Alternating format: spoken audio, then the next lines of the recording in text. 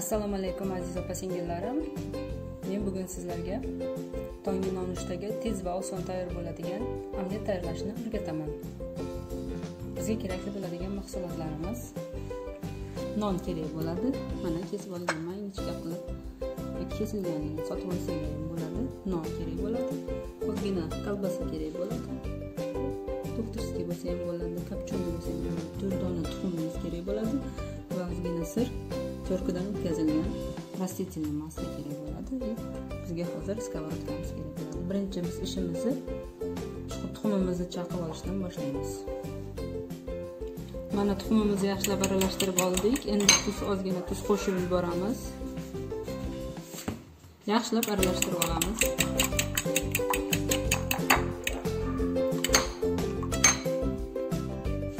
mana tuxumimiz aralashtirib bo'ldim yaxshilab endi skоворodkamizga yoki sariyog' yoki bo'lmasa e, растительный maslamizdan ozgina solamiz va yaxshilab joyiga chiqamiz.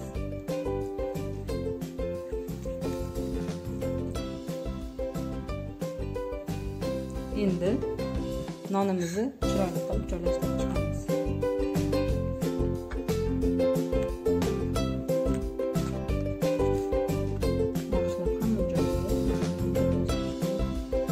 Endi tuxumimizni nonimiz ustiga surib chiqamiz yaxshilab singuncha birinchi qavatiga hamma joyiga yaxshilab mana ko'rib turganlaringizdek nonlarimni joylashtirib qo'ydim. Endi yaxshilab suramiz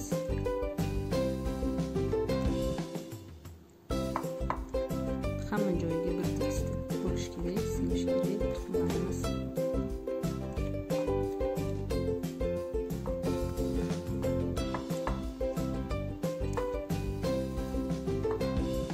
Shu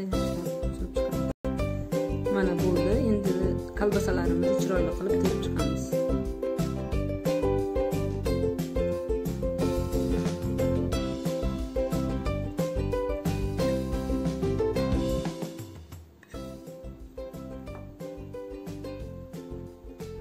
Mana ko'rib turganlaringizdek kolbasalarimni chiroyli qilib terib oldim. Xohlasanglar oralariga pomidor pare pare qilib kesib qo'yib chiqsanglar ham bo'ladi juda yam ajoyib bo'ladi. Men bolalarga qilayotganim uchun bolalar pomidor yeyishmaydi shuning uchun faqat kolbasani o'zini qildim. Endi qolgan tuxumimizni ustidan quyib chiqamiz.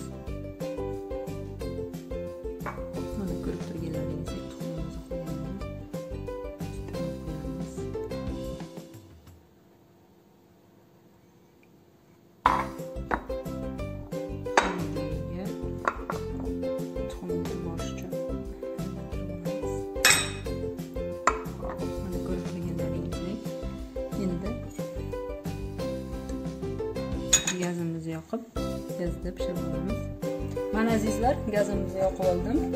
Past olovda qahmog yoqib past olovda krishkasini yopib pishirib olamiz.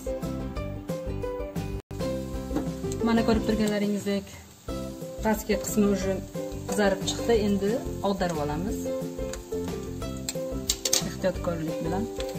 Mana ko'rib turganlaringizdek ag'darib oldik. Endi sirimizni ustiga sepib chiqamiz.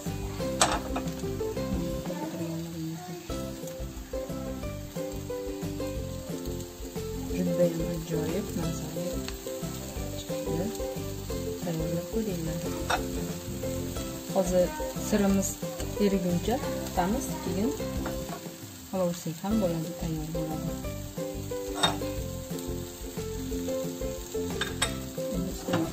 Qo'yamiz sirimiz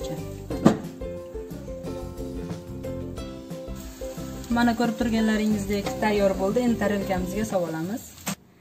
Mana tayyor bo'ldi.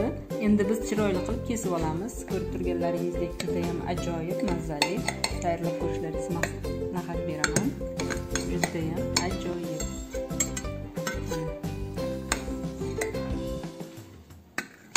Judayam ko'rib turganlaringizdek ajoyib mazali. Tayyorlab ko'ringlar. Azizlar videom yoqqan bo'lsa layk bosing подписаться bo'lmagan bo'lsanglar подписаться bo'lishni ham unutmanglar. Kelgusi videolarimda ko'rishguncha xayr.